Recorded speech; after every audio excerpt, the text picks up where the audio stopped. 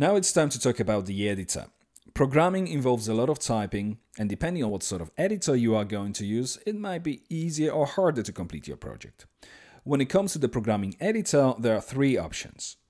In its most basic form, command line interface, and its built-in editors such as Nano or V on Unix-based systems. You've seen earlier we've been using Nano Editor in Terminal to set up virtual host.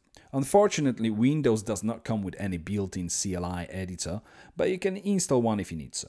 Second option is to use any simple text editor such as Notepad on Windows, TextEdit on Mac OS X, or Gedit on Linux. Both CLI and text editor option will work just fine, but the most common and easiest way to program in any language is to use its dedicated Integrated Development Environment, IDE in short. IDE comes with a bunch of very useful tools such as source code editor, built-in automation tools, debugger to quickly identify any errors in our code, code auto-completion, and you will see this being used a lot during this course, and many more. Let's have a look at a few most popular IDEs for PHP, which work on all three platforms Windows, Mac OS X, and Linux. The first IDE we are going to have a look at is PhpStorm. This is my favorite IDE, and I'm going to be using uh, this specific one during this course as well, so you can have a look at how it's working. Uh, obviously, I'm not going to be using all advanced features during this course, but at least you'll have a quick uh, view on what sort of basic features you can use with this specific um, IDE editor.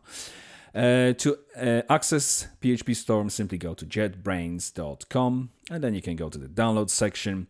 It's not free, unfortunately, but it comes with a 30 day uh, trial. If after 30 days you decide that you love it, then obviously you can go and, and purchase the license. Next one is going to be Eclipse. Uh, you go to eclipse.org and then you go to the download section. Uh, this one is a free version, so you can use it without actually spending a, a penny on it if you want to. And again, it comes for all three platforms. If you scroll down, depending obviously on what uh, sort of platform you're on, we are looking for the Eclipse for uh, PHP developers, and then you've got 32 or 64 bit version. The next one, also free, is NetBeans uh, you go to netbeans.org and then if you click on download button you'll be presented with a few options. Again if you scroll down you can see there's an option for html5 and php you can click on download button and download the, free version of netbeans as well. The next one is a sublime uh, text. Uh, this one also comes for all three platforms as i've explained earlier. Uh, again uh, it comes with a trial but if you want the full version obviously you're gonna have to uh, purchase it. Next one is going to be Komodo. Uh, again, all three platforms. And again, that this one isn't free either. You can check the pricing and different licenses, obviously, for depending on what you are going to be using it for. There are many more IDEs out there. If you try and Google IDE for PHP, you'll see a whole long list of different IDEs available for PHP.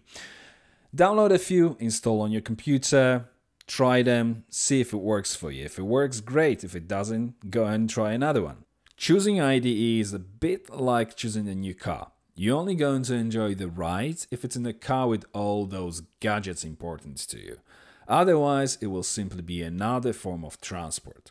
So go out there and do some research to find the right tool for your coding. For the time being, however, because it might be a bit overwhelming at first, why don't you simply download and install the 30-day trial of PhpStorm to follow along with the examples in this course.